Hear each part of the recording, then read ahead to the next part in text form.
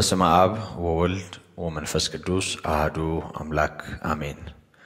የተወደዳችሁ በልዑል አምላካችን ጸጋና ምሕረት የጌታችን የመድኃኒታችን የኢየሱስ ክርስቶስን ቅዱስ ወንጌል ከእኛ ጋር እየተካፈላችሁ በያላችሁበት እግዚአብሔርን የምታመልኩ ቃሉን የምትሰሙ ጸጋና ሰላም በጌታ በኢየሱስ ክርስቶስ ይብዛላችሁ በማለት የማቴዎስ ወንጌል ምዕራፍ ሰባት የመጨረሻውን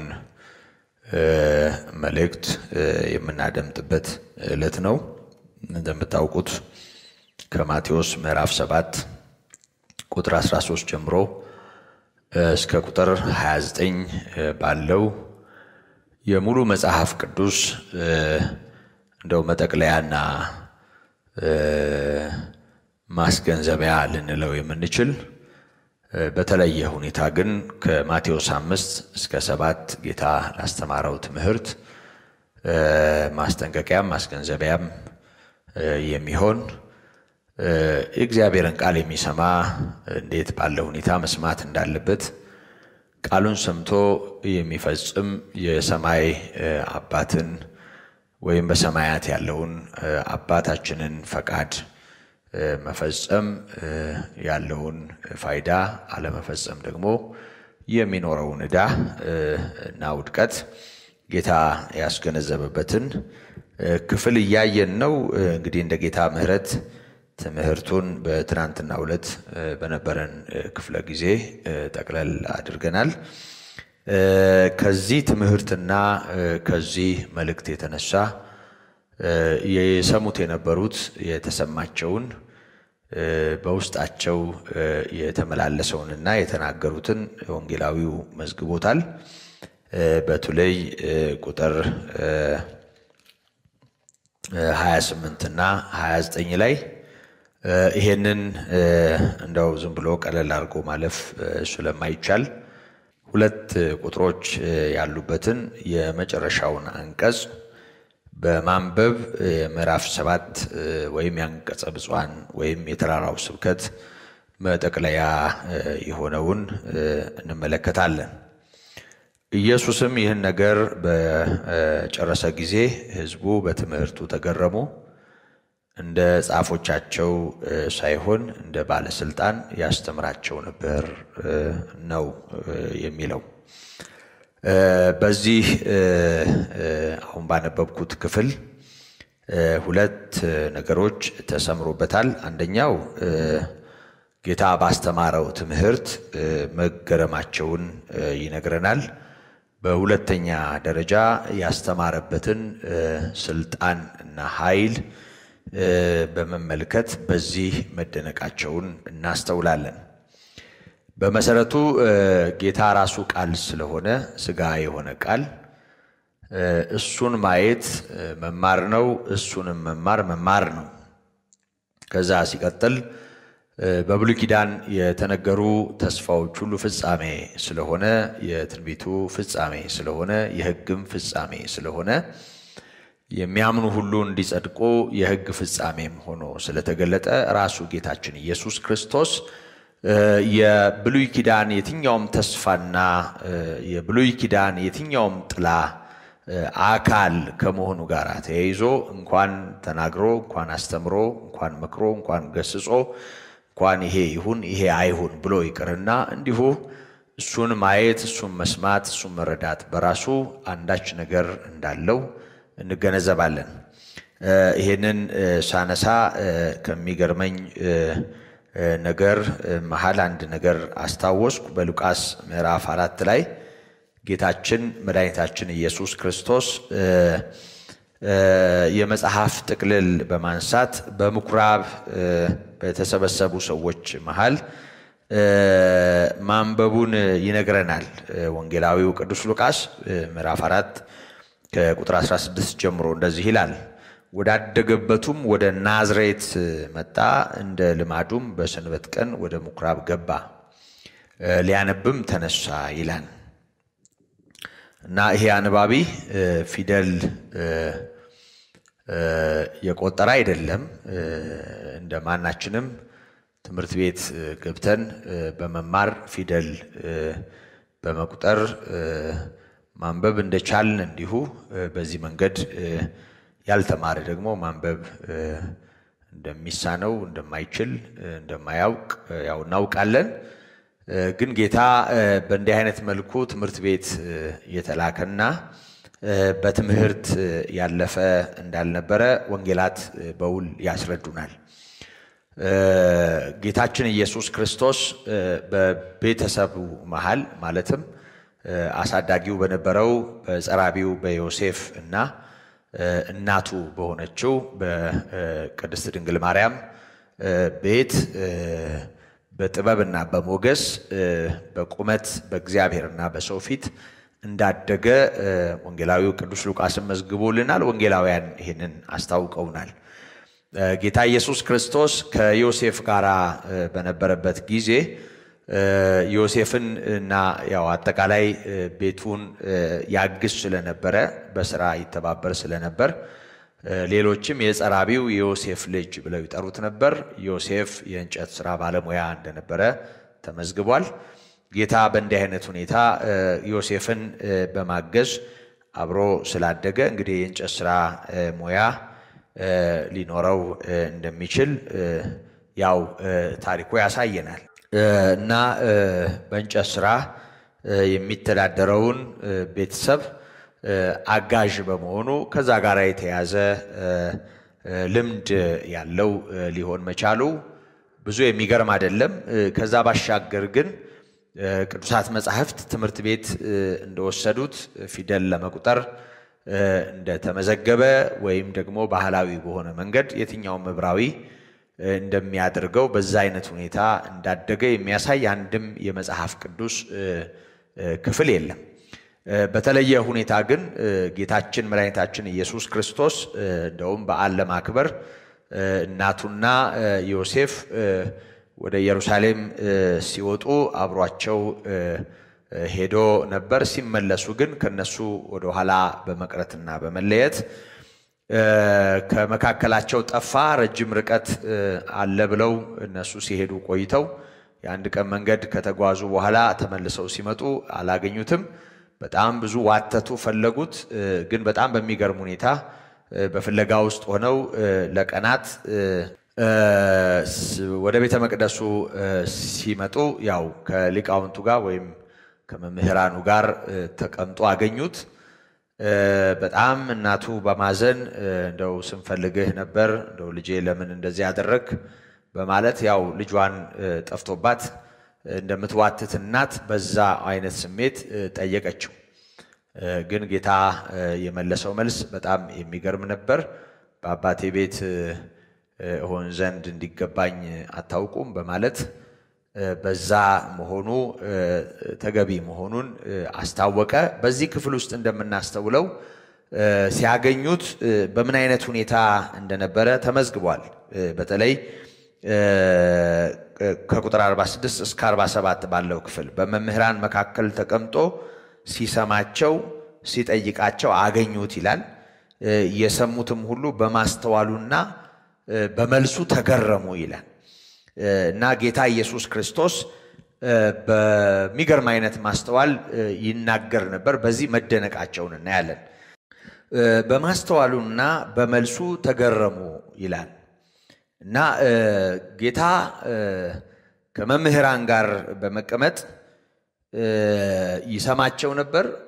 ከዛ ባሻገር ደግሞ ይናገር ነበር፣ ይጠይቃቸው ነበር። ሲጠይቁትም ይመልስ ነበር እና ያስገረማቸው ለምንድን ነው? አንደኛ ማስተዋሉ ተብሎ ተመዝግቧል። የሚያስተውልበት መንገድ ይገርም ነበር። በእንዲህ አይነት ሁኔታ በትምህርት ቤት እንዲያሳልፍ የተደረገ ልጅ አይደለም እና በእንዲህ አይነት ሁኔታ እንዲህ ማስተዋል ኖሮት የሚጠይቅ የሚመልስ መሆኑ እንዳስገረማቸው እናያለን። ይህንንም በአጽንኦት እንድንረዳው በተለይ በዮሐንስ ወንጌል ምዕራፍ 7 ከቁጥር 15 ጀምሮ እስከ 16 ተጽፎ እንደምናገኘው ቁጥር 14 ላይ ጌታ ወደ ዳስ በዓል ወደሚከበርበት ስፍራ እንደሄደና በብዙዎች መሃል ማስተማር እንደጀመረ ተመዝግቧል እና ያስተምር ነበር። ሲያደምጡት የነበሩ ሰዎች በጣም ተገረሙ እና ይሄንን ሁሉ ትምህርት ከወዴት አመጣው? ይሄ ሰው ሳይማር እንዴት ያስተምራል? በማለት በትምህርት የሚያውቁት ስላልነበሩ ያልተማረ ሰው እንደሆነ በመናገር ይህን ሁሉ ትምህርት ይህን ሁሉ ጥበብ ከየት አገኘው በማለት መጠየቃቸውን እናያለን። እና ጌታችን ኢየሱስ ክርስቶስ ትምህርቴስ ከላከኝ ከላይ ነው በማለት እርሱ የአባቱ ልጅ እንደሆነ ትምህርቱም ከሰማይ እንደሆነ ከሰው የተቀበለው ከሰው የተማረው ከሰው የቀዳው ከሰው የኮረጀው ነገር እንደሌለ በአጽንኦት እንደተናገረ በዚህ ክፍል እንመለከታለን። እና ጌታችን መድኃኒታችን ኢየሱስ ክርስቶስ ሰው ሊያስተምረው የማይገባ ወይም ሰው ሊመክረው የማይገባ ሰው ሊገስጸው የማይገባ ሰው አንዳች ሊያክልለት የማይገባ ምንም ሰው ሆኖ በምድር ላይ ቢገለጥም በዚህ ጉዳይ ትምህርቱ ከሰማይ የሆነ ከአባቱ ዘንድ የሆነ አባቱ ሲል የሰማውን ያለ አባቱ ሲያደርግ ያየውን የሚያደርግ አባቱ ሕይወት ለሙታን እንደሚሰጥ እንዲሁ ሕይወትን ለሙታን የሚሰጥ በአብ ክብር መጠን የተገለጠ የእግዚአብሔር አብ የክብሩ መንጸባረቅና የባህሪው ትክክለኛ ምሳሌ ነው። ዮሐንስ ወንጌላዊው በምዕራፍ 1 ቁጥር 17 እና 18 ላይ እንደገለጸልን እግዚአብሔርን ያየ አንድስ እንኳ የለም ካለ በኋላ በእቅፉ ያለ አንድ ልጁ እርሱ ተረከው ነው የሚለው። እና ጌታ ኢየሱስ ክርስቶስ ከሰማይ የመጣ እንደመሆኑ መጠን አባቱ ሲያደርግ ያየውን ማድረግ የሚችልና ከአባቱ የሰማውን መግለጥና ማስታወቅ የሚችል እንደመሆኑ መጠን ከሰማይ ይዞት የመጣውን መለኮታዊና ሰማያዊ እውነት የገለጠ ማንም የማያስተምረው አስተማሪ ማንም ይሄንን ያንን ብሎ የማያርቀው የማያስተካክለው ንጹሕ ነው። ጌታ ኢየሱስ ክርስቶስ ከኃጢአት በቀር በነገር ሁሉ እንደኛ የተፈተነ ነው ተብሎ እንደተጻፈ ኃጢአትን በተመለከተ የማያውቅና ፊደል ቆጠራን በተመለከተ በዚህ መንገድ ያላለፈ ነው። የሆነ ሆኖ ጌታችን ኢየሱስ ክርስቶስ ከጻፎቻቸው ይልቅ የሚያስተምር ነው። ኒቆዲሞስንም ታስታውሱታላችሁ። በምሽት ወደ ጌታ በመሄድ ዮሐንስ ወንጌል ምዕራፍ 3 ላይ እንደተመዘገበ በእውነት አንተ ከእግዚአብሔር ዘንድ የመጣህ መምህር መሆንህን እናውቃለን። ምክንያቱም አንተ ልታደርግ የምትችለውን እግዚአብሔር ከእርሱ ጋር ከሆነለት በቀር ሊያደርግ የሚቻለው የለም። አንተ የምታደርገው ነገር ማንነትህን ይነግረናል። ስለዚህ አንተ ከእግዚአብሔር ዘንድ የመጣህ መምህር ነበርክ በማለት ሲናገረው እናያለን። ኒቆዲሞስ ይሄንን ሲለው ጌታ ኢየሱስ ክርስቶስ ይሄንን ተከትሎ እንደው እውቀት ለማከል የመጣ እውቀትን ለመጨመር የመጣ እውቀትን ለመናገር የመጣ አስተማሪ ብቻም ሳይሆን ሰዎች ዳግም የሚወለዱበት የእግዚአብሔር ልጅና ሕይወት ነውና ጌታ ኢየሱስ ክርስቶስ ዳግመኛ ልትወለድ ይገባሃል። ዳግመኛ ካልተወለድክ ወደ እግዚአብሔር መንግሥት ልትገባ አትችልም። ሰው ዳግመኛ ከውሃና ከመንፈስ ካልተወለደ ወደ እግዚአብሔር መንግሥት ሊገባ አይችልም የሚል እንደው ከሐሳቡ ከግምቱ ከዘመናት እውቀቱ ላቅ ያለውን ምድራዊ ያልሆነውን ነገር ሲነግረው እናያለን። ኒቆዲሞስ በጣም ተጨንቆ እንዴ ሰው ካደገ ካረጀ በኋላ እንደገና እናቱ ማህፀን ገብቶ ሊወለድ ይችላል? እንዴት ይሆናል? እያለ ግራ ሲጋባ እንዴ በጣም በሚገባ ቋንቋ እንደው ምድራዊ ከሆነው ነገር ጋር በተያያዘ በአንተው መጠን ይሄን ስነግርህ ካልተረዳህ ከሰማይ የሆነውን እንዴት ትረዳለህ? አንተ ኒቆዲሞስ የዚህ ሕዝብ አስተማሪ የአይሁድ መምህር አይደለህ አንተ እንዴት ይህ አይገባህም? በማለት ሲገስጸው እናያለን።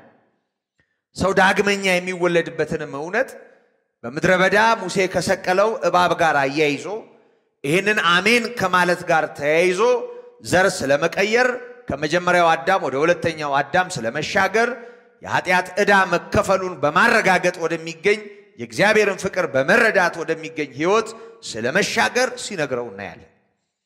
ይሄ ፊደል በመቆርጠም የሚገኝ አይደለም። ይሄ ከሰማይ የሆነ መልእክት ነው።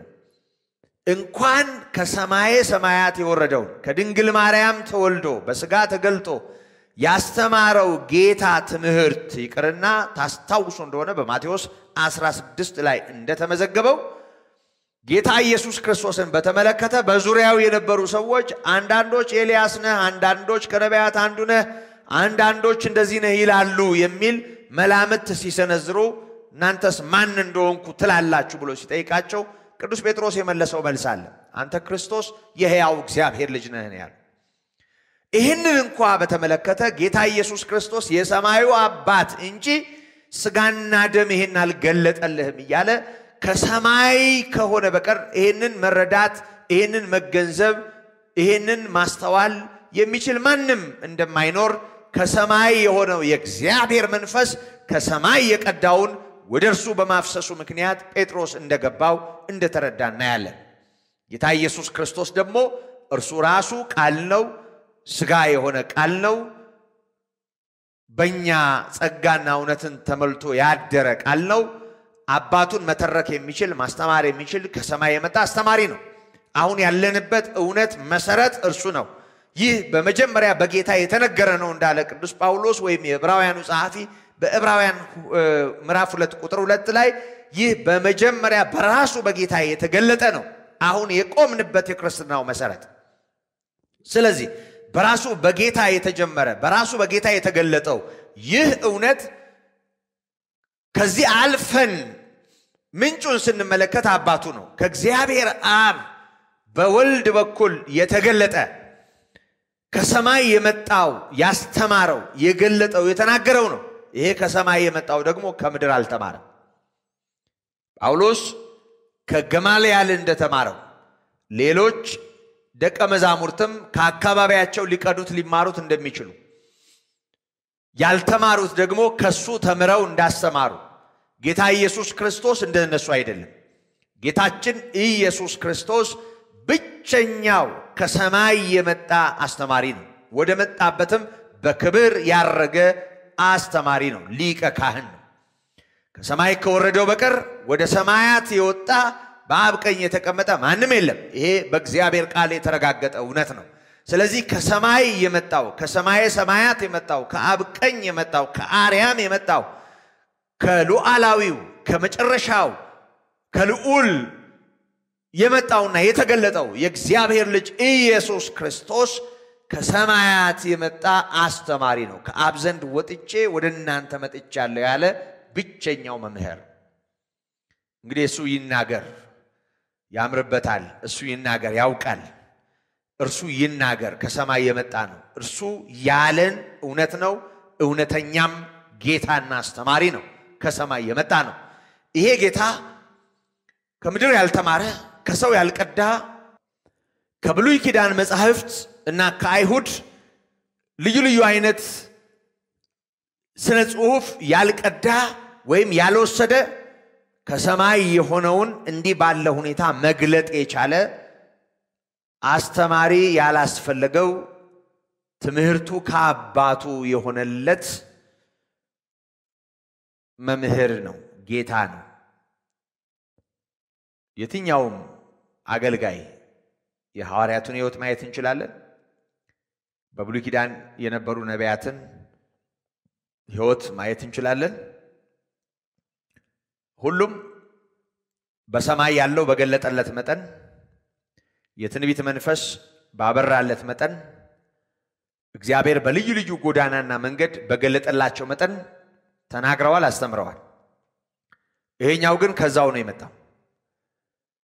ማንነቱ ከቤተልሔም ዋሻ አይጀምርም። ቅድመ ዓለም የነበረ ነው። አካላዊ ቃል ነው።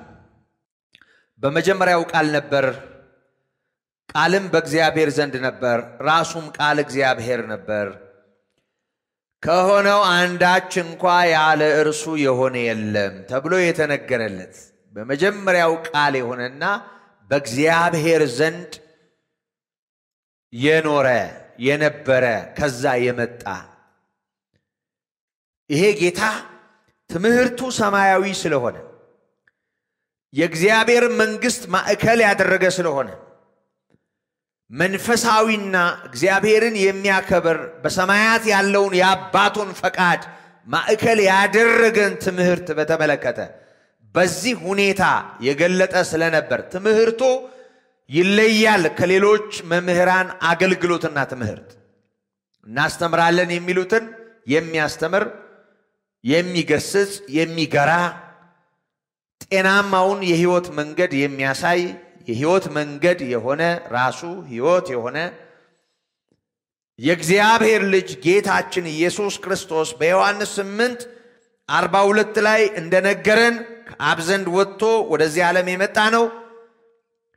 በዮሐንስ ምዕራፍ 16 ቁጥር 28 ላይ እንደተመዘገበው ይህንን ዓለም ትቶ ደግሞ ወደ መጣበት ወደ አባቱ የተመለሰ አሁን የተከተልነው እውነትና ሃይማኖት ሐዋርያና ሊቀ ካህን ነው። ይሄ ጌታ በትምህርቱ ልዩ ነው። ያስተምራል። በሰማያት ያለውን የአባቱን ፈቃድ የገለጠው። ትምህርቱ ከባድ አይደለም፣ ውስብስብ አይደለም፣ በጣም ግልጽ ነው። እኔ የዋህ በልቤም ትሑት ነኝ ያለ ጌታ ቀንበሬን በላያችሁ ተሸከሙ፣ ሸክሜ ቀሊል ቀንበሬም ልዝብ ናት እንዳለ የእኛን ከባዱን ነገር ከአይሁድም ሆነ ከሌላው የወረስነውን ለማንከባለልና ደግሞም በሕይወት ያለውን ከባድ ነገር ከኛ ለማውረድ እኛን ለማሳረፍ የተገለጠ ውስብስብ ያልሆነ የዋህና ትሑት የሆነ አባትና አምላክ ነው ጌታ ኢየሱስ ክርስቶስ። በዚህ ማንነቱ ስለማያውቁት፣ በዚህ ማንነቱ በደንብ ስለማይረዱት በትምህርቱ ይገረሙ ነበር። በጣም ተደነቁ፣ ገረማቸው። ይሄ የመጀመሪያው ነገር ነው። ሁለተኛው በትምህርቱ ውስጥ ካለው ሐሳብ ካለው መልእክት ወይም ካለው ተጨባጭ እውነታ ባሻገር ያንን የሚናገርበት ስልጣን፣ ያንን የሚናገርበት አግባብ፣ ያንን የሚናገርበት ሁኔታ ከጻፎቻቸው አስተምህሮ ጻፎቻቸው ከሚናገሩበት የመናገሪያ ስልጣን ጻፎቻቸው ከሚያስተላለፉበት የመመሪያ መልክ ጋር ሲነጻጸር ለየት ይላል። ስለዚህ የሚያስተምረው ትምህርት የሚያስገርምና የእያንዳንዱን ሕይወት የሚፈትሽ የሚነካ ሰዎችን ወደ ትክክለኛው የሕይወት አቅጣጫ የሚመልስ መሆኑ ብቻም ሳይሆን ያንን የሚናገርበት ስልጣን መለኮታዊ ስለሆነ እንደ ጻፎቹ እኛ ስናስተምር እሱን እየጠቀስን ይሄ የጌታ ቃል ነው እያል እንደምንናገረው እንደሱ ሳይሆን ጌታ ኢየሱስ ክርስቶስ ሲያስተምር የሚደመጠው በስልጣን ነው። እኔ ግን እላችኋለሁ እያለ ራሱን የዚህ ቃል ባለቤት አድርጎ መመሪያ አድርጎ እንደውም ቀድሞ የተነገረውን አሁን እሱ ሊያስተምረው ካለው ነገር ጋር እያነጻጸረ ለቀደሙት እንዲህ እንደተባለ ታውቃላችሁ፣ እኔ ግን እላችኋለሁ እያለ በጣም የሚገርመው ነገር በሙሴ አማካኝነት በሙሴ መካከለኝነት ብሉይ ኪዳን ላይ ከተሰጠው ሕግ ጋር በተያያዘ ለቀደሙት የተባለው እንደዚህ ነው ይልና ለቀደሙት የተባለውን በተለየ ሁኔታ ሲያቀና፣ በተለየ ሁኔታ ሲያበራ፣ በተለየ ሁኔታ ሲተረጉም፣ በስልጣን ሲያርም እናያለን። ያኛው ስህተት ሆኖ አይደለም። ያኛው ችግር ኖሮበት አይደለም። ግን ሐዲሱ ኪዳን ከዛኛው ላቅ ስለሚል ላቅ ባለ ሁኔታ በአጽንኦት ሲናገር እንሰማዋለን። ስለዚህ ይሄ ማንነቱ የጌታን ትምህርት ስልጣን ያሳያል። ያ ማለት ምን ማለት ነው? ይሄ ንጉሥ ነው፣ ከሰማያት የመጣ ነው፣ የዳዊት ልጅ ነው፣ መሲሁ ነው። የሚናገረው እንደ ባለስልጣን ነው፣ እንደ ንጉሥ ነው፣ እንደ ሰማያዊ ንጉሥ ነው። የእግዚአብሔር መንግሥት በመካከላቸው መገለጧን፣ መታየቷን፣ መቅረቧን ወደ እነሱ መድረሷን የሚያረጋግጥ መልእክት ነው ሲያስተላልፍ የነበረው። ስለዚህ ልምጥምጥ ያለ አልነበረም። እንደው ቢሆን ባይሆን የሚል ደግሞ ለአድማጮቹ ፈቃድና ውሳኔ ነገሮችን የሚተው አድማጮቹ ያንን ነገር ቢቀበሉ ባይቀበሉ ውጤቱ ምንም እንደማይሆን ለስለስ ባለ ሁኔታ የሚናገር አይደለም። እንደ ባለስልጣን እንዲህ ይሁን እንዲህ አይሁን ይል ነበር። ይሄ ያስገርማቸው እንደነበረ ተጽፏል። በተለይ በምዕራፍ አምስት በማቴዎስ ምዕራፍ አምስት ከቁጥር 22 ጀምሮ እስከ ቁጥር 34 ወይም ደግሞ እስከ ቁጥር 45 ድረስ ያለውን ስንመለከት እንደምናየው ጌታ በአጽንዖት የነበረውን አሁን እሱ በሚያስተላልፈው መመሪያ ሲተካ በሚያስተላልፈው መመሪያ ሲያበራና ሲያብራራ በሚያስተላልፈው መመሪያ አንዳንዱን ጠበቅ ሲያደርገው እናያለን። ይሄ ያኔም ቢሆን ይሄንን መመሪያ የሰጠ በሙሴ አማካኝነት ለሙሴም የተናገረ ደግሞ አሁን በስጋ የተገለጠ ያኔ እንዲህ እንዳዘዘ በዚሁ ሁኔታ ማዘዝ የሚችል ባለስልጣን መሆኑን ያሳያል። ክብር ለስሙ ይሁን እና በሲናይ ላይ ለሙሴ የተናገረ ቃል እሱ ነው። ሰማይና ምድር ይሁን ያለ ቃል እሱ ነው። በቃሉ ነው ሰማያት የጸኑት።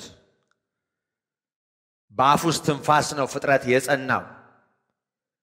ይሄ ጌታ ነው አሁን እየተናገረ እያስተማረ ያለው። በዚህ ስልጣን ነው ይሄ እውነት አሁንም እየበራ እየተገለጠ ያለው እና ምዕራፍ አምስት ቁጥር 22 ላይ ያለውን ስንመለከት እንደ ምሳሌ እነዚህን ማንሳት እወዳለሁ። እንደዚህ ይላል። ከቁጥር 21 ነው የሚጀምረው። እንግዲህ አንድ ቁጥር ቀደም ብሎ ከዚህ በፊት የሆነውን የተነገረውን የተላለፈውን መመሪያ አንስቶ እኔ ግን እያለ ነው ሲያጸና የምናየው። አነበዋለሁ። ትምህርቱን በዝርዝር ስላየ ነው ወደ ዝርዝር መልእክቱ አልሄድም። ያው ወደኋላ በመሄድ ምዕራፍ አምስት ላይ ያለውን ተመልሰን ማስታወስ ነው የሚጠበቅብን። የሆነ ሆኖ እንደ ባለስልጣን የተባለበትን ምክንያት ለማስረዳት ነው ይህንን የማነሳው። እንደዚህ ይላል ለቀደሙት አትግደል እንደተባለ ሰምታችኋል። የገደለም ሁሉ ፍርድ ይገባዋል። ያኔ በነበረው መመሪያ። እኔ ግን እላችኋለሁ በወንድሙ ላይ የሚቆጣ ሁሉ ፍርድ ይገባዋል። ወንድሙንም ጨርቃም የሚለው ሁሉ የሸንጎ ፍርድ ይገባዋል። ደንቆሮ የሚለው ሁሉ የገሃነም እሳት ፍርድ ይገባዋል። ይሄ ከምንጩ ነው የሚጀምረው። ያኛው ከውጤቱ ከመግደል በፊት ለዛ የሚሆን ክፋት፣ ለዛ የሚሆን ጥላቻ፣ ለዛ የሚሆን ቅናት፣ ለዛ የሚሆን ጥንስስ አለ። በመሰረቱ ምኞት ፀንሳ ኃጢአትን ትወልዳለች ተብሎ ተጽፏል። ኃጢአት የምኞት ጽንስ የሆነው የምኞት ውጤት ነው። ስለዚህ ጌታ ወደ ውስጥ ነው እየገባ ያለው ወደ ሰው ውስጣዊ ማንነት አንድ ሰው ለመግደል የሰው ሕይወት እንዲህ ባለ ሁኔታ ለመቅጠፍ የሚያስችል ጥላቻ የሚያስችል ልክ ያልሆነ ነገር መጀመሪያ ጽንስ የሆነ ነገር መጀመሪያ ውስጡ ይኖራል። ልክ ቃኤል አቤልን ከመግደሉ በፊት ውስጡ እንደጠቆረ ውስጡ እንደጨለመ እግዚአብሔር ቀደም ብሎ በመምጣት ለምን ፊትህ ጠቆረ? መልካሙን ብታደርግ ፊትህ ይበራ አልነበረምን?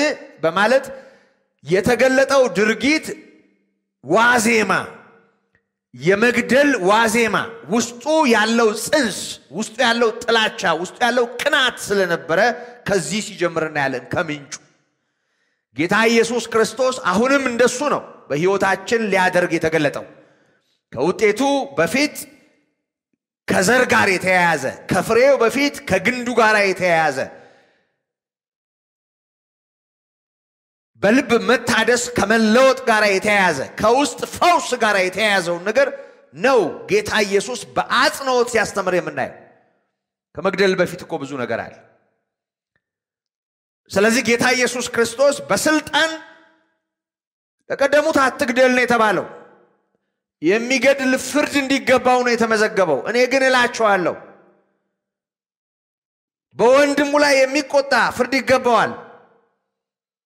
ወንድሙን ጨርቃም የሚለው ሁሉ የሸንጎ ፍርድ ይገባዋል። ደንቆሮ የሚለው ሁሉ የገሃነም እሳት ፍርድ ይገባዋል በማለት ከስድብ ከጥላቻ ከመግደል ያነሰ ግን በጣም በሚገርም ሁኔታ የዛኛው ዋዜማ የዛኛው ምንጭ የዛኛው መነሻ ሊሆን የሚችለውን የሚያደርግ ትምህርት ሲያስተምር እናየዋለን። እኔ ግን እላችኋለሁ በማለት በስልጣን የገደለ አለ ፍርድ ይገባዋል የተባለው። አሁን ግን ደንቆሮ የሚል ጨርቃም የሚል የሚቆጣ በጥላቻ የሚሞላ ፍርድ ይገባዋል። ስለዚህ ያ ከመሆኑ በፊት ወደዛ የሚወስደውን መንገድ ነው እንድናስብበት ጌታ ሲቀጭ የምናየው በስልጣን እኔ ግን እላችኋለሁ በማለት እርማት የሚመስል ማረቅ የሚመስል በእርግጥ ቅድምም ብያችኋለሁ፣ እርማት አይደለም። ምክንያቱም መግደል ወንጀል ነው፣ ፍርድም አለው። ያ ነገር የዚህ ውጤት ስለሆነ ወደ ምንጩ ነው ጌታ ትኩረት ያደረገው። እንደገና ምዕራፍ አምስት ቁጥር 28ንም ብንመለከት ምዕራፍ 27 ላይ ያለው ቃል ምንጭ የሆነውን ነው ሲናገር የምናየው። አታመንዝር እንደተባለ ሰምታችኋል። እኔ ግን እላችኋለሁ ወደ ሴት ያየ ሁሉ የተመኛትም ሁሉ ያን ጊዜ በልቡ ከእርሷ ጋር አመንዝሯል። ስለዚህ እኔ ግን እላችኋለሁ ወደ ሴት ያየ በልቡ የተመኘ ከማድረጉ በፊት ያንን አድርጎታል እያለ ነው። ምክንያቱም በተግባር የሚገለጠው ምንዝር ወይም ሴሰኝነት ምንጩ ምኞት ነው። ምንጩ የሰው ውስጣዊ መሻት ነው። ስለዚህ ወደ ሴት ያየ በልቡ የተመኛት ባያደርገው እንኳ አድርጎታል። ስለዚህ ከድርጊቱ ቀደመ። ሰው ውስጡ ነው መቀደስ ያለበት፣ ውስጡ ነው መፈወስ ያለበት፣ ውስጡ ነው መዳን ያለበት። ውስጡ ያለው ነው የሚወጣው። በመሰረቱ መግደል፣ ጥላቻ፣ ዝሙት፣ እነዚህ ሁሉ እርኩሰቶች ከሰው ልብ ነው የሚወጡት። በማቴዎስ 15 ላይ ባልታጠበ እጃቸው የአንተ ደቀ መዛሙርት ይበላሉ በማለት ደቀ መዛሙርቱን ሲከሱ ጌታ ኢየሱስ ክርስቶስ ሰውን የሚያረክሰው ወደ ውስጥ የሚገባ አይደለም፣ ከውስጥ የሚወጣው ነው። ወደ ውስጥ የሚገባው አልፎ ዳሪ ነው የሚሆነው፣ ከውስጥ የሚወጣው ግን በማለት ከገለጣቸው ነገሮች አንዱ ዝሙት እንደሆነ ተመዝግቧል። ስለዚህ ዝሙትም፣ አመንዝራነትም፣ ግድያም፣ ጥላቻም፣ ስድብም፣ ክፉ ሐሳብ ሁሉ ከውስጥ ነው የሚወጣው ከልብ። ስለዚህ ወደ ምንጩ ነው ጌታ ትኩረት ያደረገው። ወደ ወጪቱ የውጨኛ ክፍል አይደለም፣ ወደ ወጪቱ ውስጠኛ ክፍል ነው። ውጩን ወልውሎ ውጫዊውን ነገር አስጊጦ ውስጥ ቢቆሽሽ ምን ዋጋ አለው? ስለዚህ ሐሳብ ሲቀደስ፣ የሰው ምኞት፣ የሰው ልብ ሲቀና፣ የሰው ውስጣዊ ማንነት ሲፈወስ ውጩ መልካም ይሆናል። ሰው በውጫዊው ነገር ቢፈተን እንኳ ውስጡ ያለው ነገር ጤናማ ከሆነ ያንን የሚሻገርበት አቅም ይኖረዋል። አሊያ ግን ውጭው አይደለም መሰረታዊው እና አትዘሙት ነው፣ አታመንዝር ነው የያኔው መመሪያ። እኔ ግን እላችኋለሁ ያየ የተመኛት በቃ ጨርሷል በልቡ ሲል እናያለን። ስለዚህ አሁንም ከልብ ጋር ነው ጉዳዩ። አሁንም ወደ ሰው ማንነት ነው የሆነ ሆኖ አሁንም በዚህ መልእክት ላይ መስመር የምናደርግበት ሐሳብና እውነት እኔ ግን እላችኋለሁ ብሎ ከምኞት ጋር የተያዘ መመሪያ ማስተላለፉን ነው። አሁንም ቁጥር 32 ላይ ደግሞ እንዲህ የሚል እናያለን። ከቁጥር 31 ነው የሚጀምረው። ሚስቱን የሚፈታት ሁሉ የፍችዋን ጽሕፈት ይስጣት ተባለ ለቀደሙት። ምን ማለት ነው? አንድ ሰው በምንም ምክንያት ሊሆን ይችላል። ሚስቱን የሚፈታ ከሆነ የመፍታት መብት ያለው ወንዱ ነው። ያኔ በነበረው ሕግ የሚፈታ ከሆነ እንዳሰናበታት እንደፈታት ሌላ ብታገባ ወደ ፈለገችው ብትሄድ ከዚህ በኋላ የእሱ እንዳልሆነች የሚያስታውቅ ማስረጃ ጽፎ ፈትቻታለሁ ብሎ ጽሕፈት ሰጥቶ እንዲለቃት ቀደም ባለው ሕግ ታዟል። ስለዚህ ለቀደሙት እንዲህ እንደተባለ ታውቃላችሁ ነው የሚላቸው ጌታ ኢየሱስ ክርስቶስ። እንዲህ ተብሏል። እኔ ግን እላችኋለሁ ያለ ዝሙት ምክንያት ሚስቱን የሚፈታ ሁሉ አመንዝራ ያደርጋታል፣ ወደ ሌላ እንድትሄድና እንድታገባ። ያኔ ጽፎ ይሰጣል፣ ሌላ ታገባለች። ምክንያቱም ፈቷታል። ይሄ ይኸው ፈቶኝ ነው እኔ ፈትነኝ ካለች ሌላኛው ለመውረስ ለማግባት ባለ እሱም ከፈታት አሁንም እንደዛው ብቻ ደብዳቤ የያዘች ትሂድ። ያኔ ይፈቀዳል። አሁን ግን አይቻልም። ጌታ ነው ይህንን እያለ ያለው። ለቀደሙት እንደዚያ እንደተባለ ታውቃላችሁ። እኔ ግን እላችኋለሁ እኔ ግን እላችኋለሁ ቁጥር 32 ያለ ዝሙት ምክንያት ሚስቱን የሚፈታ ሁሉ አመንዝራ ያደርጋታል፣ የተፈታቸውንም የሚያገባ ያመነዝራል። ስለዚህ ደብዳቤው አመንዝራ ከመባል አያድንም፣ አሁን ባለንበት ሁኔታ ጌታ ባስተማረው ትምህርት። ምክንያቱም ዝሙት ያው ፍቅር አለመኖሩን ጥላቻ መኖሩን ያሳያል። ተበዳዩ የመፍታት መብት አለው። ተደርቦብኛል፣ ተዘሙቶብኛል፣ በእኔ ላይ ሌላ ጣልቃ ገብቷል የሚለው አካል አካሉ ሌላ አካል ላይ ተገጥሞ በዚህ ሁኔታ ተበድሎ አብሮ እንዲቀጥል አይገደድም ፈቃደኛ ካልሆነ በቀር። ስለዚህ ዝሙት ትዳር እንዲፈርስ ብቸኛው ምክንያት ነው። አሁን አሊያ አይሆንም። የሚፈታም የተፈታችውንም የሚያገባ እሱ አመንዝራ ነው፣ እኔ እላችኋለሁ በማለት ጌታ ኢየሱስ ክርስቶስ ደብዳቤ ይዞ ተፋተናል፣ ፈትቻለሁ የሚል ሌላ የማግባት መብት የሚሰጥ ኪዳን ውስጥ አይደለም ያለ ነው። ስለዚህ ጌታ ኢየሱስ ክርስቶስ መፋታት በፍጹም እንዳልተፈቀደ ከዝሙት በቀር ትዳር እንዲፈርስ እንደማይፈቅድ ተናገረ በስልጣን። እኔ ግን እላችኋለሁ ነው ያለው። ምንም አይነት ሌላ ምክንያት ከዝሙት በቀር ትዳር እንዲያፈርስ የጌታ ፈቃድ አይደለም ማለት ነው። በስልጣን ነው ይህንን ያዘዘው። እንደገና ቁጥር 34 ላይ ያለውን ስንመለከት እዚሁ ምዕራፍ ላይ የቁጥር 33 መሰረት ነው። እንደዚህ ይላል፣ ለቀደሙት በውሸት አትማል፣ ነገር ግን መሐላዎችን ሁሉ ለጌታ ስጥ ተብሏል። ይህንን ታውቃላችሁ። ሰው እንዳይምል አያዝም፣ በውሸት እንዳይምል እንጂ በሐሰት መማል ነው ነውሩ። መሐላ የተፈቀደ ነበረ።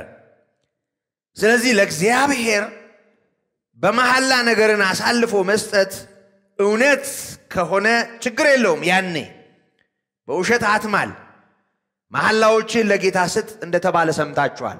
በእግዚአብሔር ስም ለእግዚአብሔር አሳልፎ ጉዳይን በመሐላ መስጠት ይቻል ነበር ያኔ። እኔ ግን እላችኋለሁ ከቶ አትማሉ።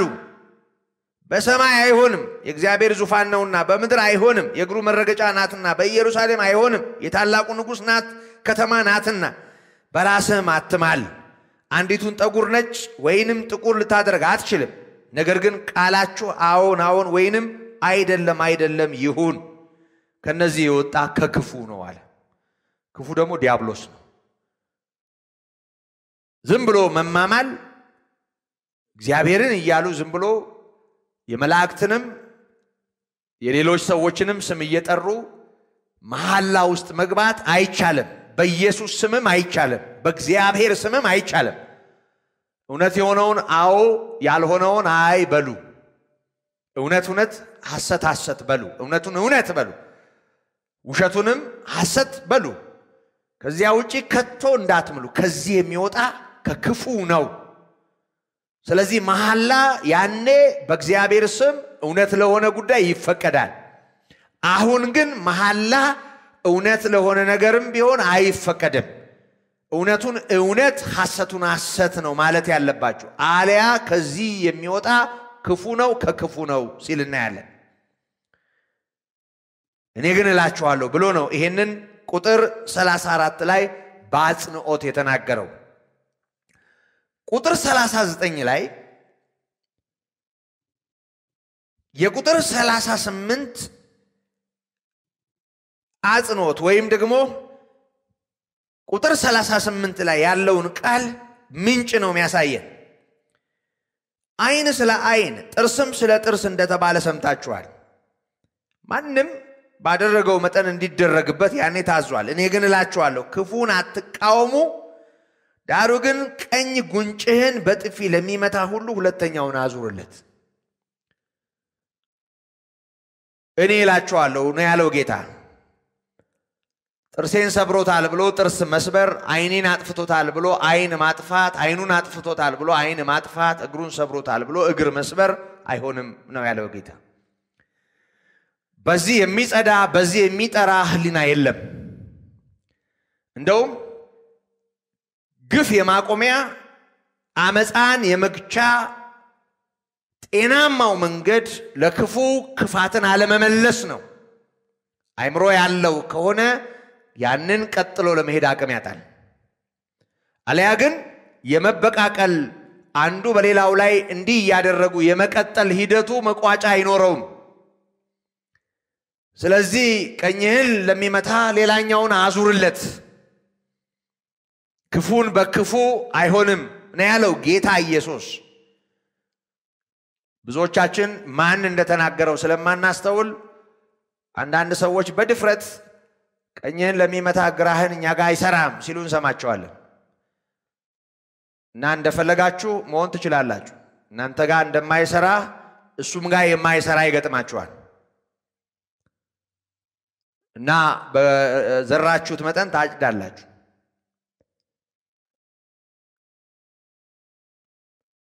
ይሄ የጌታ ትምህርት ነው።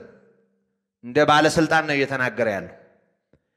ይሄ አንድ ተራ ምስኪን የአንድ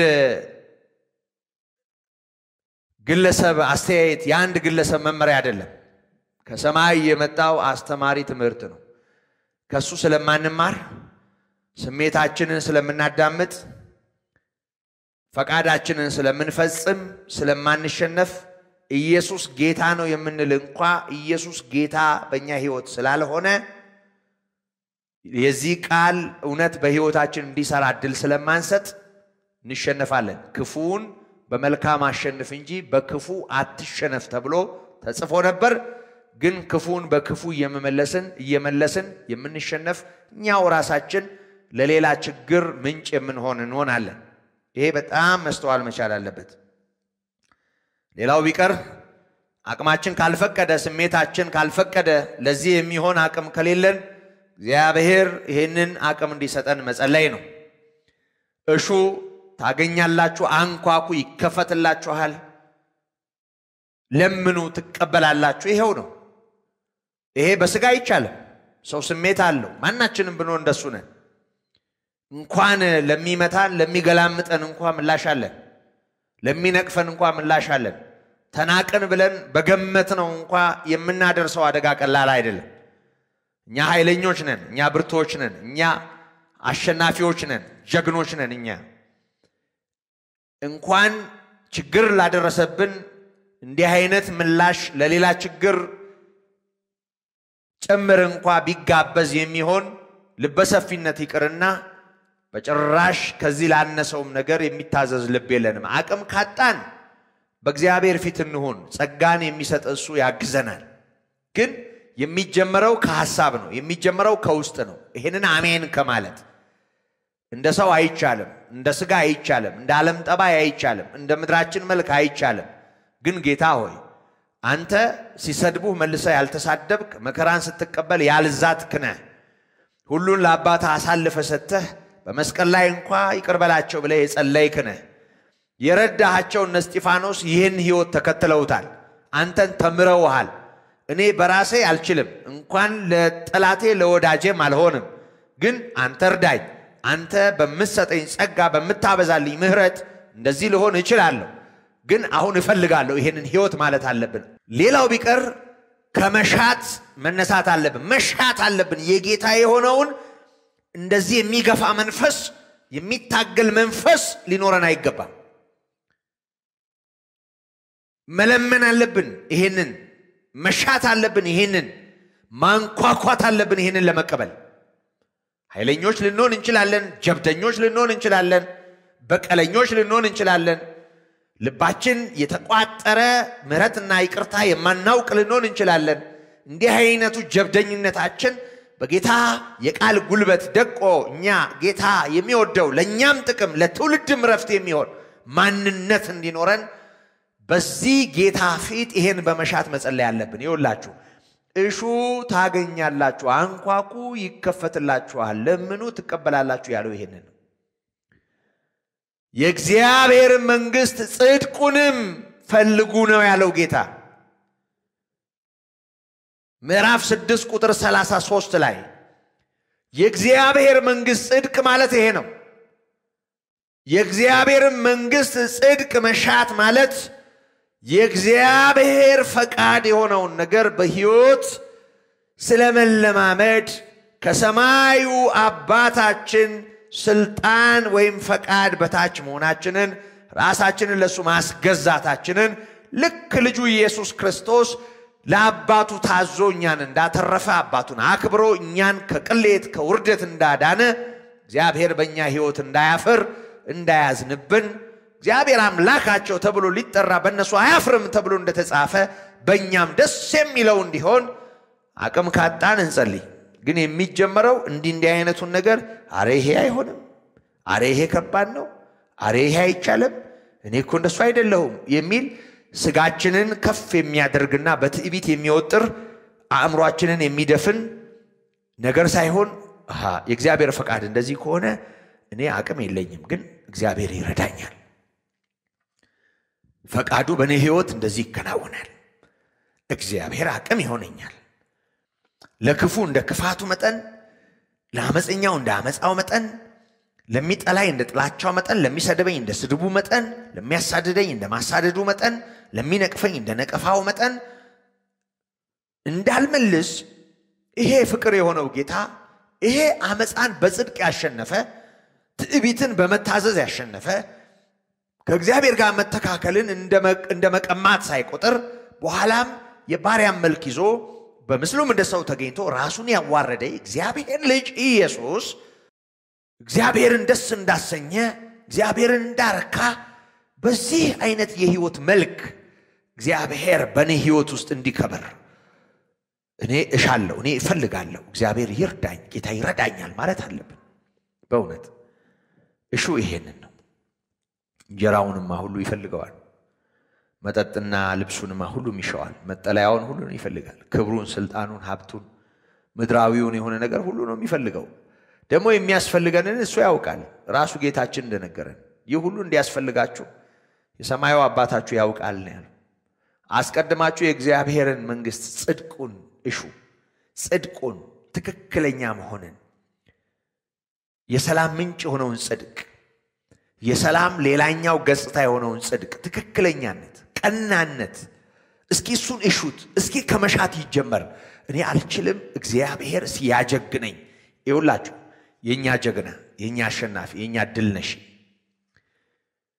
ሞትን በትንሣኤው ድል ያደረገ ጽድቁ በትንሣኤው የተረጋገጠለት በግፍ ተሰቅሎ ተጥሎ ተትቶ የነበረ ግን በእግዚአብሔር አስደናቂ አሰራር ጽድቁ ተረጋግጦለት ከሙታን መነሳት የተነሳው የእግዚአብሔር ልጅ የሕይወታችን ልዑል ይሁን። አሸናፊ ነው ስንል ገሎ አይደለም፣ ሞቶ ነው። አሸናፊ ነው ስንል ሌላውን አዋርዶ አይደለም፣ ለፍቅር ተዋርዶ ነው።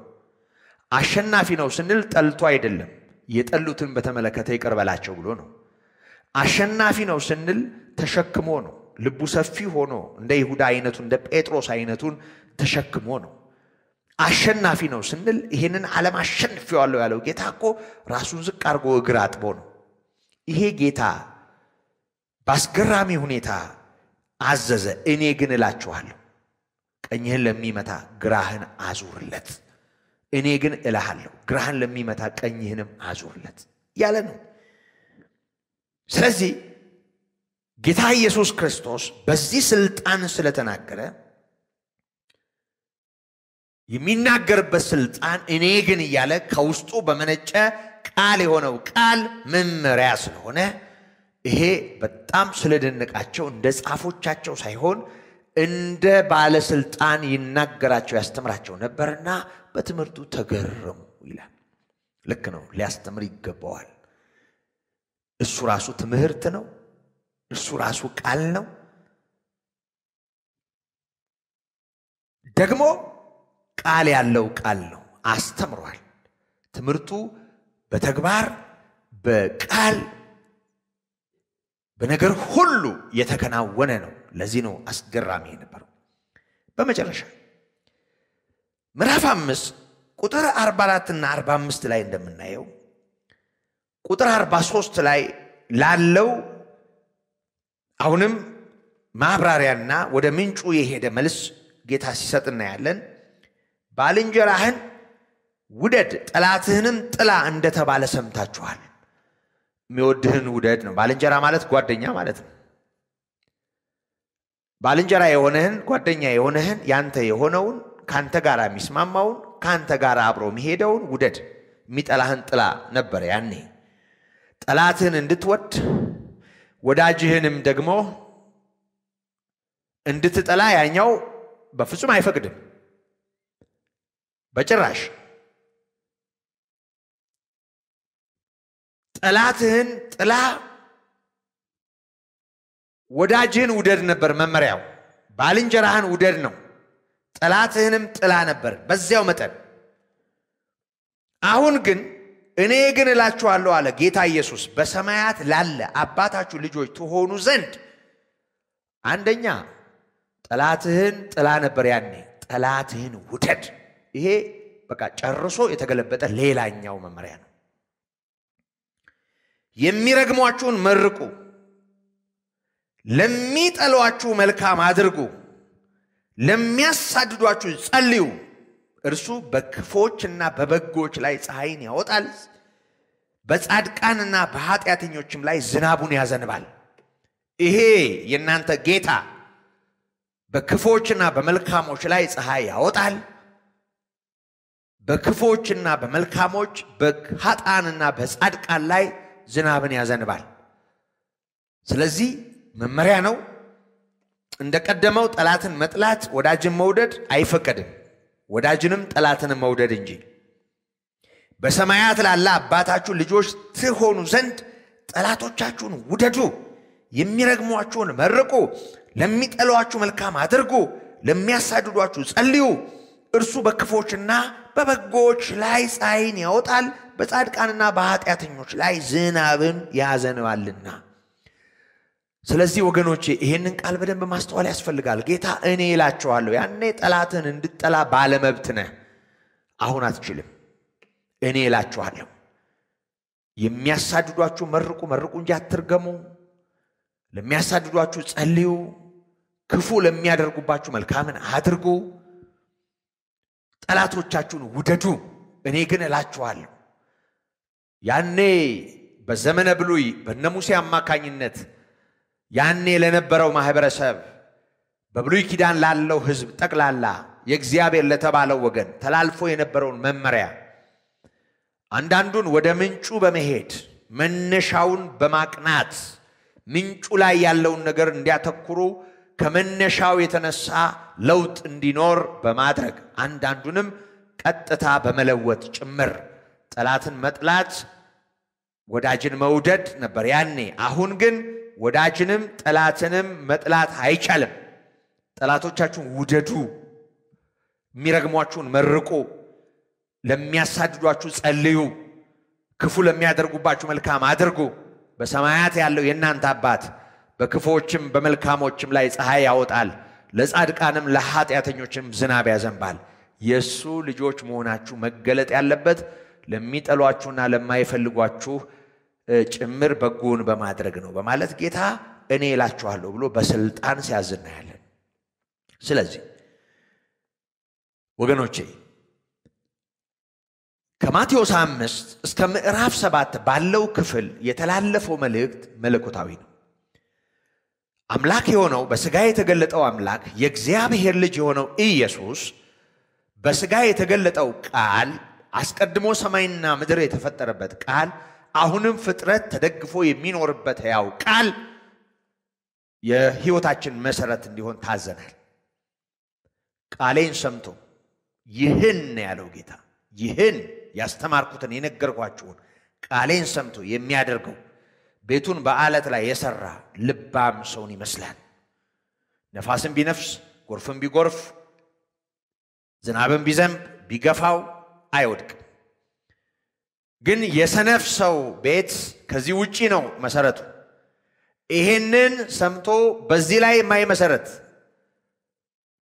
ቃሌን ሰምቶ የማያደርገው ጌታ ኢየሱስ ክርስቶስ ለዚህ እውነት የማይታዘዝን በተመለከተ ቃል በቃል እንደሱ ነው የሚያለው። ቃሌን ሰምቶ የማያደርገው ሰው ሁሉ ሰምቶ የማያደርገው ቤቱን በአሸዋ ላይ የሰራ ሰነፍ ሰውን ይመስላል። ዝናብም ቢዘንብ ነፋስም ወይም ውሽንፍርም ቢያገኘው ጎርፉም ቢመጣ ይወድቃል፣ አወዳደቁም ታላቅ ይሆናል ያለው። ተወደዳችሁ በዚህ ሕይወትና እውነት ጸንቶ ለመኖር መጸለይ ብቻውን ስለ እነዚህ ነገሮች ያለን ግንዛቤ ብቻውን በቂ አይደለም። መታዘዝ ያስፈልጋል። የመታዘዝ አቅም ካጣን ደግሞ እሹ፣ አንኳኩ፣ ለምኑ እንዳለ ጌታ በዚህ ጉዳይ ላይ እንጸልይ፣ እንለምን፣ እንሻ። ከመሻት ይጀምር መፈለግ ማለት ነው። ፍላጎቱ ሳይኖረን እንዴት እንለምናለን? ፍላጎቱ ሳይኖረን እንዴት እናንኳኳለን? ጉጉት ሳይኖረን በቃ እኔ አልችልም ጌታ ሆይ አንተ ግን ታስችላለህ፣ አንተ አቅም ትሆናለህ። እንደ ሥጋ አይሆንም። በቃ እኔ አልችልም ግን አንተ ታስችለኛለህ፣ ግን እፈልጋለሁ። በቃ አንተ የምትለውን መሆን እፈልጋለሁ፣ እሻለሁ። እኔ በቃ አንተን ነው ማክበር የምፈልገው። ፈቃድህን፣ ቃልህን፣ ሐሳብን፣ ምክርህን ነው መከተል የምፈልገው። እኔ ደካማ ነኝ፣ ለዚህ አልሆንም፣ ግን አንተ ታስችለኛለህ። አባት ሆይ እርዳኝ ብሎ በእግዚአብሔር ፊት በእውነት ጸጋውን በመሻት መንበርከክ በሉቃስ 11 ላይ በማቴዎስ 7 ከቁጥር 7 ጀምሮ እስከ 11 ባለው ክፍል ላይ እንደተጻፈው በተመዘገበው ክፍል እንዴት አብልጦ አይሰጣችሁ የሚሻለውን ካለ በኋላ የሚበልጠውን አብልጦ አይሰጣችሁ መንፈስ ቅዱስን ይሰጣችኋል የሚለው እና የሕያው እግዚአብሔር መንፈስ ወደ እውነት ይመራል። ይውላችሁ በዚህ ኃይለኛ፣ ትምክህተኛ፣ ትዕቢተኛ፣ አመፀኛ በሆነው ስጋችን ላይ በእውነት የእግዚአብሔር መንፈስ ክርስቶስን ስለሚያከብረው ጌታ ኢየሱስ ክርስቶስ እንዲከብርና እኛ ፈቃዳችንን ሳይሆን ፈቃዱን በሰማያት ያለውን የአባታችንን ፈቃድ ማድረግ እንድንችል አቅም ይሰጠናል። ማ? የእግዚአብሔር መንፈስ። በምልአት እንዲቆጣጠረን ይሄ የተወለድንበት የታተምንበት የእግዚአብሔር መንፈስ ሙሉ ማንነታችንን እንዲቆጣጠረው። ከዚህ የተነሳ የአባት ፈቃድ በእኛ ሕይወት እንዲከናወን የአባት ፈቃድ በእኛ ሕይወት እንዲፈጸም እግዚአብሔር አብ በእኛ ሕይወት እንዲከበር ጌታ ኢየሱስ ክርስቶስ በሕይወታችን እንዲታይ የኢየሱስ ክርስቶስን አይነት የሕይወት መልክ ያን መልክ እንመስል ዘንድ በእውነት በሕይወታችን እንዲኖር የሕያው እግዚአብሔር መንፈስ ይህንን ያስችላል። ዮሐንስ 14 ላይ እኔ የነገርኋችሁን ያሳስባችኋል እንዳለ እሱ በመጣ ጊዜ ምዕራፍ 16 ላይ ወደ እውነት ሁሉ ይመራችኋል፣ እኔ ካለኝ ወስዶ ይነግራችኋል፣ እኔንም በእናንተ ላይ ያከብረኛል፣ ስለ ጽድቅ፣ ስለ ፍርድ፣ ስለ ኃጢአት ዓለሙን ደግሞ ይወቅሳል እንዳለ ዓለሙን እየወቀሰ ወደ እውነት የሚያመጣ በእኛ ሕይወት ደግሞ ክርስቶስን ያከብራል። ክርስቶስ ይከብራል በእኛ ሕይወት። ክርስቶስን ማክበር እኛ በኢየሱስም ብለን ሰይጣን ማስወጣት ነው የሚመስለን የሚመስለን እንደሱ ነው። እና ይኸው አላቃችሁም እናንተ እነማን ናችሁ የሚባሉት አጋንንት የሚያወጡ ትንቢት የሚናገሩ ተአምራት የሚያደርጉ ናቸው። ለምንድን ነው አላቃችሁም የተባሉ? አመፀኞች ናቸው። ለቃሉ የማይሸነፉ የማይታዘዙ ናቸው። ውስጣቸው አመፅ አለ፣ ትዕቢት አለበት። አልተንበረከኩም፣ ግን በስሙ ኃይል ለመጠቀም ጥረት ሲያደርጉ የነበሩ ናቸው። የተሳካላቸው ናቸው። ጌታ ፊት ሲቀርቡ ያነሱት። ስለዚህ ወገኖቼ የሰማይ አባት ፈቃድ በእኛ ሕይወት ውስጥ እንዲሆን የእግዚአብሔር መንፈስ እኛን ያግዛል። የእግዚአብሔር መንፈስ እንዲያግዝን ደግሞ ጉዳዩን በመሻት ይሄንን እፈልጋለሁ እግዚአብሔር ሆይ እርዳኝ በማለት በእግዚአብሔር ኃይለኛ ዙፋን የጸጋው ዙፋን ስር መንበርከክ አለብን። እንሻ፣ እንለምን፣ እናንኳኳ። የእግዚአብሔር ጸጋ በነገር ሁሉ የውስጣችን እረፍት ይሆናል። ጸጋና ሰላም ይብዛላችሁ። ጌታ ኢየሱስ ክርስቶስ አስተምሯል። ከሰማይ የመጣ አስተማሪ ነው። ሰማያዊውን መለኮታዊውን መመሪያ ነው የሰማ ነው። ከዛ ሲቀጥል ደግሞ እንደ ባለስልጣን እንጂ እንደ ጻፎቻቸው አይደለም የተናገረው። እኔ ግን እላችኋለሁ በማለት በስልጣን ነው ያስተማረው። ይሄ የሰማይ መመሪያ ነው። የባለስልጣኑ ስልጣናዊ ቃል ነው። አቅም ካጣን እንጸልይ፣ ለመታዘዝ እንሻ። ቃሉን ሰምቶ የሚያደርገው ነው ቤቱን በዓለት ላይ የሠራ ልባም ሰው። እግዚአብሔር ጸጋ ይብዛላችሁ። አባት ሆይ እናመሰግንሃለን ስለ ረዳህን። አንተ አስተምረህ፣ አንተ ተናግረህ፣ አንተ መክረህ ያንተ የሆነውን እንዲህ እንድንሰማ ጌታ ሆይ እንድንመከር እንድንማር ምሕረትህን ስላበዛህልን ክብርና ምስጋና ኃይል ላንተ ይሁን። ጌታችን ሆይ ቀሪም ሰዓት ተረከብ፣ ዘመናችንን ውረስ። በኢየሱስ ክርስቶስ ስም አሜን። እግዚአብሔር ይመስገን። ደግሞ በዜማ እግዚአብሔርን እናከብራለን፣ እንደ ቃሉም እንጸልያለን። ፍጹም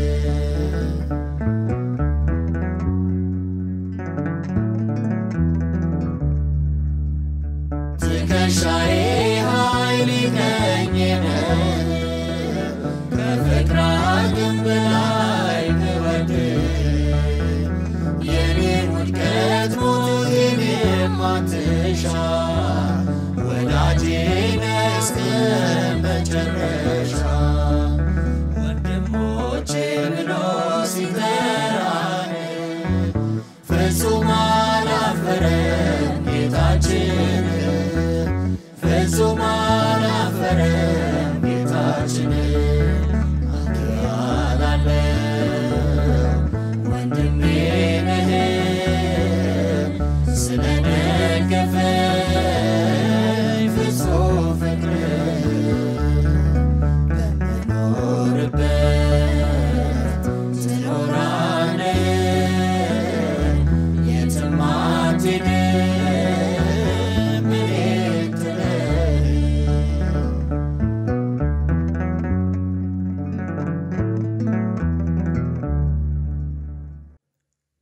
ክብርና ምስጋና ለአባታችን ለልዑል እግዚአብሔር በጌታችንና በመድኃኒታችን በኢየሱስ ክርስቶስ ስም ይሁን። የተወደዳችሁ ጌታ እስከ ዛሬዋ ቀን ድረስ በዚህ የወንጌል እውነት በኩል እኛን ስለ መጥቀሙ፣ ስለ ማስተማሩ፣ ስለ መምከሩ፣ ስለ መገሰጹ፣ ስለ ማጽናናቱ፣ ስለ ማበርታቱ ክብርን ልንሰጥ ይገባል። እግዚአብሔርን እናመሰግነዋለን። በተለይም ደግሞ እንግዲህ የተራራው ስብከት በመባል የሚታወቀው ትምህርት የመጨረሻ ክፍል የሆነውን ምዕራፍ 7 ቁጥር 28 እና 29 ላይ ያለውን ነው ዛሬ የተመለከትነው። እንግዲህ የዚህ መልእክት መደምደሚያ እንደመሆኑ መጠን እግዚአብሔር በእነዚህ ምዕራፎች ባስቀመጠው ትምህርት ውስጥ ጌታ ኢየሱስ ክርስቶስ እንደ ባለስልጣን ባስተማረው ትምህርት ውስጥ ያለውን እውነት ለመፈጸም እንደ እግዚአብሔር ቃል ታዘን ለመኖር የሚያስችል ጸጋውን በተመለከተ እንጸልያለን። እግዚአብሔር ያበረታናል። ጌታ ኢየሱስ ክርስቶስ በማቴዎስ 7 ቁጥር ሰባት ላይ እንደነገረን ለምኑ ይሰጣችኋል፣ እሹም ታገኛላችሁ፣ አንኳኩም ይከፈትላችኋል። ለሚለምን ይሰጣል፣ ለሚሻም ያገኛል፣ ለሚያንኳኳም ይከፈትለታል በማለት የሰማዩ አባታችን በሥጋ ከወለዱን ይልቅ የሚራራልን የተሻለውን ሊሰጠን የሚችል በመንፈስ ቅዱስ ኃይል ሕይወታችንን ለክብሩ መዋጀት የሚችል መሆኑን ነግሮናል። ይህን ተስፋ ይዘን ነው የምንጸልየው። እንግዲህ በተማርነው ትምህርት ውስጥ ማን ይሄን ሊችለው ማን ይሄን ሊፈጽመው ይችላል የሚል ለትምህርቱ በጣም ሩቅ እንደሆን የሚሰማን ሰዎች በእውነት ጌታ ስለሚያስችልና ስለሚችል ይህንን አምነን እንጸልያለን። እግዚአብሔር ጸጋውን ያበዛልናል። አባታችን ሆይ እናመሰግንሃለን፣ እናከብረሃለን። የሕይወት ብርሃን የሆንከው ሕይወታችን ሆይ ከፍ ከፍ እናደርግሃለን። በእውነት ስለመከርከንና ስላስተማርከን የቃልህን ደጆች በመክፈት በነገር ሁሉ ጌታ ሆይ ልባችንን ስለደገፍክ ክብርና ምስጋና ለሕያው ስምህ ይሁን። አባታችንና አምላካችን ረድኤታችን ሆይ መለኮታዊ የሆነውን ሰማያዊ የሆነውን በሰው ሐሳብና ፈቃድ ወዲያና ወዲህ የማይደረገውን የከበረ እውነት እንዲህ ባለ ሁኔታ እንድንሰማው ስለፈቀድክልን ክብሩን አንተ ውሰድ። እኛ ለዚህ የምንበቃ አልነበርንም፣ ግን ጸጋህ በቃን። በጎነትህ ጌታ ሆይ ለዚህ አደረገን። አንተ መልካም አምላክ፣ አንተ ሕያው ጌታ ነህ። እናመሰግንሃለን ጌታ ኢየሱስ ክርስቶስ የሕይወታችን ባለቤት በሥጋ የተገለጥከው ቃል ቃል ሥጋ ሆነ ጸጋና እውነትን ተሞልቶ በእኛ አደረ ተብሎ እንደተጻፈ በእኛ ያደርክ ወደ እኛ የመጣ ሕይወታችን የሆንክ ደግሞ እኔ እላችኋለሁ እያልክ ስላስተማርከው ትምህርትና ጌታ ሆይ ስለ መከርከን ነገር ሁሉ ክብር ላንተ ይሁን። በእውነት እናመሰግንሃለን። ልትከብር ይገባሃል፣ ልትመሰገን ይገባሃል፣ ልትወደስ ይገባሃል። አንተ የሕይወታችን ጌታ መድኃኒታችን ሆይ ክብሩን አንተ ውሰድ። በእውነት እኛ ስለ መማራችን እንዲህ አይነቱን እንድንሰማ እድል ስለ ማግኘታችን ክብር ላንተ ይሁን። አባታችን ሆይ ከዚህ እውነት ለራቁ ይህንን መስማት ለማይችሉ ሁሉ ጸጋህን አብዛ። እኛም በዚህ ቃል የምንኖርበትን ምሕረት አብዛልን። ሁላችንም ስለሰማነው ቃል ከምስጋና ጋር በእግዚአብሔር ፊት እንሆናለን። እግዚአብሔርን እንለምነዋለን። ጌታ ሆይ አንተ ከምትረዳው በቀር እንዳልከው የሚኖር የለም። ይህን የምታስችል አንተ ነህ። ለሚያምን ሁሉ ይቻላል ተብሎ እንደተጻፈ ጌታ ሆይ ይህንን ስለመቻል ይህንን ስለማስተዋል በዚህ መጠን ስለመኖር ሕይወታችንን እንድትገራው እንለምንሃለን። እንደ መንግሥት ልጆች በሰማያት ያለኸው ያንተ ልጆች እንደመሆናችን በሰማያት ያለው የአባታችሁ ልጆች ትሆኑ ዘንድ በማለት ልጅህ እንደነገረን አባት ሆይ ለዚህ በሚመጥን ሕይወት እንድንኖር ምሕረትህ ይደግፈን። ይህንን ደካማ ለሕግ ያልተቻለውን ሥጋ ጌታ ሆይ ማን ላንተ ሊያደርግ ይችላል? ሰው ፈቃድስ ቢኖረው መሻትስ ቢኖረው ጌታ ሆይ ያለ ጸጋ እንዴት ይችላል? በአይምሮዬ በእግዚአብሔር ሕግ ደስ ይለኛል፣ በብልቶቼ ባለ በኃጢአት ሕግ የሚማርከኝን ሌላ ሕግ አያለው። ለዚህ ለሞት ከተሰጠ ሰውነት ማን ያድነኛል እንዳለ ባሪያህ ጌታ ሆይ ለሞት ከተሰጠ ማንነት የምታድን እኔ ለሥጋ ልሆን የተሸጥኩ ነኝ እንዳለ በእውነት እንዲህ አይነቱን መታደግ የምትችል አንተ ብቻ ነህ። እግዚአብሔር ሆይ በቃልህ ያልከንን ያስተማርከንን እኔ ግን እላችኋለሁ ብለህ ያሰመርክበትን ማን ይፈጽመዋል? ማንስ ይችላል? አባት ሆይ ይህን የሚያስችል ጸጋ፣ ይህን የሚገራ ጸጋ፣ ይህንን እግዚአብሔር ሆይ በእውነት የሚያቀና ጸጋህን እንለምናለን። ከረዳኸው በቀር ከደገፍከው በቀር ካስተማርከው በቀር ካገዝከው በቀር ማንም ጌታ ሆይ ለዚህ አይሆንም። በእውነት አባት ሆይ አንተ ብቻ ይሄን ትችላለህ፣ ታስችላለህ። ካንተ ይሄን እንጠብቃለን። አባት ሆይ ሕይወታችንን አንተ ተረከብ። እንደ ፈቃድህ መሆንን እንደ ሐሳብህ መሆንን ስጠን። እንደ ቃልህ ጌታ ሆይ እንደ ምክርህ እንደ ተግሳጽህ እንዲህ እንድሁን። ጥላቻ ከልባችን ይውጣ። ቁጣና ጌታ ሆይ ክፋት በልባችን አትይ። ከሚጠበቅብን አልፈን ሰዎች ከኛ ከሚሹት ተሻግረን አንተ እንዳልከው እንዲሁ ጌታ ሆይ ሆነን እንድንኖር በዚህም ሰላማችን እንዲበዛ ለሌላውም እንድንትረፈረፍ ጌታ ሆይ ፈጽሞ ወርዳን። ያለ ጸጋህ አይሆንም። አምላክ ሆይ አይሆንም። ያለ ድጋፍህ አይሆንም። ጌታ ሆይ አይሆንም። ያለ አንተ አይቻልም። አባት ሆይ አይቻልም። ጌታ ሆይ እርዳን። እጆቻችንን ያዝ። ሕይወታችንን ተረከብ። ኑሯችንን ተረከብ። እግዚአብሔር ሆይ ያንተ በሆነው ነገር እናጊጥ። መገለጫችን ይሄ ይሁን። ጌታ ሆይ አንተ እርዳን። በተለይ በስምህ ለተጠራው ወገን ሁሉ ይሄን እንመኛለን፣ እንጸለያለን። ለአብያተ ክርስቲያናት ሁሉ ይሄንን እመኛለን፣ እንጸለያለን። በስምህ ለተጠሩ ቅዱሳን ሁሉ ይሄንን እንመኛለን፣ ይሄንን እንጸለያለን። እንደ ቃልህ በመኖር እንደ ምክርህ በመኖር ጌታ ሆይ ያጌጠ ሕይወት አቤቱ ያጌጠ ሕይወት እንደ ቃልህ በመሆን የተዋበ የሕይወት መልክ ይሁንልን። በኢየሱስ ክርስቶስ ስም ይህን እንጸልያለን። አባት ሆይ ምክርህ ያኑረን፣ ጸጋህ ያኑረን፣ ትምህርትህ ያኑረን፣ የዘላለም ሐሳብህ ያኑረን። ጌታ ሆይ ያኑረን። ጥላቻ ከኛ ይራቅ፣ ግፍና መጻ ይራቅ። እግዚአብሔር ሆይ ያኑረን፣ የዘላለም ምክርህ ያኑረን። አባት ሆይ ያኑረን።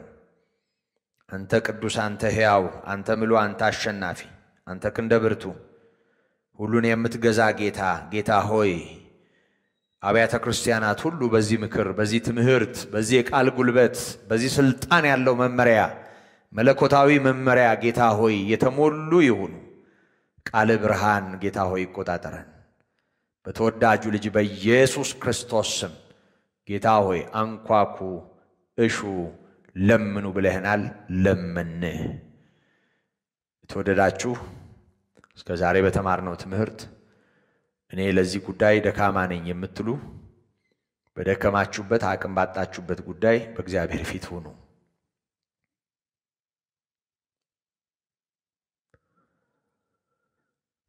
ኃይል የእግዚአብሔርን ኃይል ፈቃዱን የእግዚአብሔርን ፈቃድ ስለማከናወን እንደ ፈቃዱ በፊቱ ስለመኖር ስለመታዘዝ እንደ ቃሉ እንደ ምክሩ ስለመኖር በእውነት እንጸለያለን። ጌታ ሆይ ይሄ ጌጥ ይሁንልን፣ የሕይወት መልክ ይሁንልን። እብን እኛ ሕይወት ውስጥ እነዚህን ሁሉ ትምህርቶችህን ተመልከት። ሰዎችም ይህንን ይመልከቱ።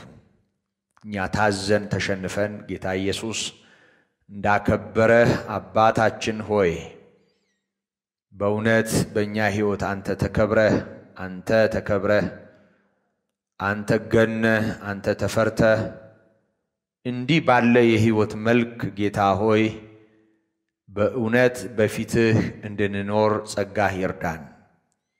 በሰማያት የምትኖር ልዑል የሆንክ እግዚአብሔር ሆይ በዚህ ዘመን ያለችዋ ቤተ ክርስቲያን ያንተ የሆነችዋ ጉባኤ በመላው ዓለም ያሉ ቅዱሳን ይህንን ባለመርሳት በዚህ እውነት ተሸንፎ በመኖር ይህንን በመለማመድ ጌታ ሆይ አንተን ፈጽመው እንዲያከብሩ እንድናከብር ጸጋህ ይርዳን። እግዚአብሔር ሆይ አንተ ቅዱስ ነህ። በሰማያት ያለኸው የአንተ ፈቃድ በእኛ ሕይወት ይሁን። አመፅ አታገኝብን። በተለይ በቃልህ ላይ አናምፅ፣ በፈቃድህ ላይ አናምፅ። ትዕቢት አታገኝብን። እንታዘዝ፣ እንፍራህና አክብርህ። ጸጋህ ይርዳን። አባታችን ሆይ ይህን ስለምታደርግ እናመሰግናለን። አቅም ለሌለን ጉልበት ላጣን ሁሉ አቅም ሁነን፣ ኃይል ሁነን፣ ማስተዋል ሁነን፣ ጥበብ ሁነን ጌታ ሆይ አንተ በሰማያት ያለህ አንተ ቅዱስ፣ አንተ ሕያው፣ አንተ ምሉ፣ አንተ አሸናፊ፣ ቅዱስ፣ ጻድቅና እውነተኛ አምላክ በተወደደው በኢየሱስ ክርስቶስ ጌታ ሆይ ፈጽሞ ሕይወታችንን አንተ ተቆጣጠር። ጌታ ሆይ አምላካችን ሆይ አባታችን ሆይ ስለ ሰማህን እናመሰግናለን። እንግዳ የሆናችሁ ለወንጌል አዳዲስ ሰዎች ወንጌልን በዚህ መንገድ ሰምታችሁ የማታውቁ እግዚአብሔር የፍቅር አምላክ ነው።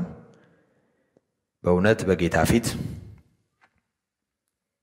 በእግዚአብሔር ጸጋ ስለመኖር በክርስቶስ አምኖ ስለመዳን በሰማችሁት ነገር እግዚአብሔር በእናንተ ሕይወት ስፍራ እንዲኖረው ልባችሁ የናፈቀ ኢየሱስ ክርስቶስ በሕይወታችሁ ስፍራ እንዲኖረው አብራችሁኝ ጸልዩ። እግዚአብሔር ሆይ በሉ።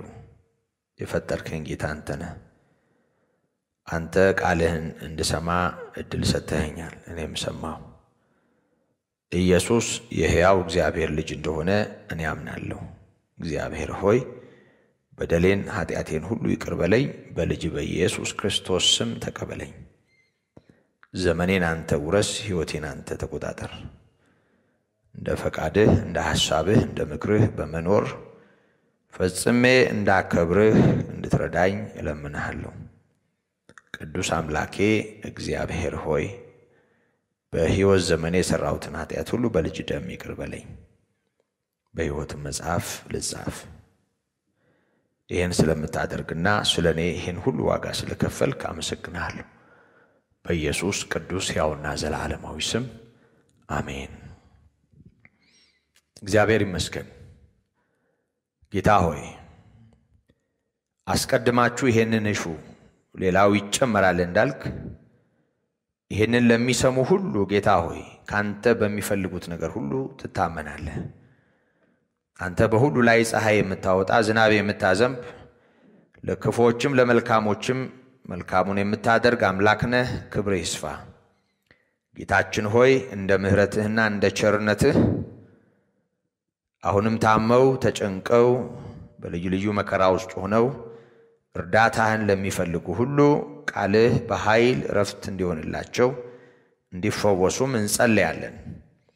በየቤቶቻቸው ያሉትን ተመልከት ጌታ ሆይ። የታመሙ የተጨነቁትን ሁሉ አንተ ፈውስ። በአጋንንት የታሰሩትን ፍታ። አባታችንና አምላካችን እረኛችን ሆይ ለሁሉ የሚሆን ምሕረትና በጎነት ያለህ አንተ ነህ። ጌታ ሆይ በተወዳጁ በናዝሬቱ በኢየሱስ ክርስቶስ ስም ይሄ እንዲሆን እንጸለያለን። ደግሞም አባታችን ሆይ እንደ ቸርነትህ እንደ ምሕረትህን ብዛት ስለሰጠህን በጎ ዕድል ሁሉ ክብሩን አንተ ውሰድ። እግዚአብሔር ሆይ ቃልህ በየቤቱ ይደመጣል። እንዲህ እንዲሆን ይህን ዕድል ሰጥተህናል። ተባረክ። የታመሙትን የምትፈውስ፣ የወደቁትን የምታነሳ፣ የተሰበሩትን የምትጠግን ልዑል እንደ ምሕረትህ ብዛት በብዙ ጸጋና ምሕረት ጌታ ሆይ ምድራችንን እንድትጎበኝ ደግሞ ቃልህን ሰጥተህናል። ተባረክ ጌታ ሆይ ቀሪውን ሰዓት ተረከብ። በተወደደው በኢየሱስ ክርስቶስ ስም አሜን። እግዚአብሔር ይመስገን። የተወደዳችሁ በጌታ ጸጋ ይህንን ቃል አብራችሁን የተሳተፋችሁ በእውነት የጌታ በሆነው ነገር ሁሉ ልባችሁ ርፍ እንዲል እግዚአብሔር ጸጋውን እንዲያበዛላችሁ ዘወትር መጸለይን ያው እናስገነዝባለን። ስለዚህም አገልግሎት ጸልዩ። ደግሞ ቀጣዩ ምዕራፍና ቀጣዩን የመጽሐፍ ክፍል እንዲሁ ጌታ ባስለመደን ጸጋ በነገው ዕለት እንቀጥላለን። ይህን አገልግሎት ለእግዚአብሔር አሳልፎ መስጠትን ዘወትር አደራ እንላችኋለን። ጸጋና ሰላም በክርስቶስ ይብዛላችሁ። ወስብሐት ለእግዚአብሔር።